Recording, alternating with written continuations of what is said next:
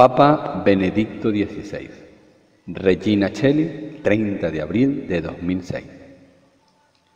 En el tiempo pascual, la liturgia nos ofrece múltiples estímulos para fortalecer nuestra fe en Cristo resucitado. En este tercer domingo de Pascua, por ejemplo, San Lucas narra cómo los dos discípulos de Maús, después de haberlo reconocido al partir el pan, fueron llenos de alegría a Jerusalén para informar a los demás de lo que les había sucedido. Y precisamente mientras estaban hablando, el Señor mismo se apareció mostrando las manos y los pies con los signos de la pasión. Luego, ante el asombro y la incredulidad de los apóstoles, Jesús les pidió pescado asado y lo comió delante de ellos. Lucas 24, 35, 43.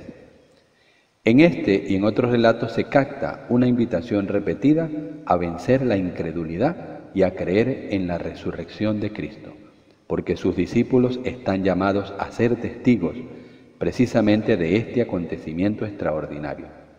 La resurrección de Cristo es el dato central del cristianismo, verdad fundamental que es preciso reafirmar con vigor en todos los tiempos, puesto que negarla, como de diversos modos se ha intentado hacer y se sigue haciendo, o transformarla en un acontecimiento puramente espiritual, significa desvirtuar nuestra misma fe.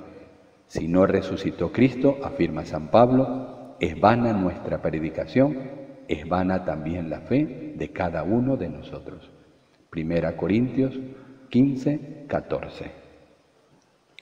En los días que siguieron a la resurrección del Señor, los apóstoles permanecieron reunidos, confortados por la presencia de María, y después de la ascensión perseveraron juntamente con ella en oración a la espera de Pentecostés. La Virgen fue para ellos madre y maestra, papel que sigue desempeñando con respecto a los cristianos de todos los tiempos. Cada año, en el tiempo pascual, revivimos más intensamente esta experiencia y tal vez precisamente por esto la tradición popular ha consagrado a María el mes de mayo, que normalmente cae entre Pascua y Pentecostés. Por tanto, este mes nos ayuda a redescubrir la función materna que ella desempeña en nuestra vida a fin de que seamos siempre discípulos dóciles y testigos valientes del Señor resucitado.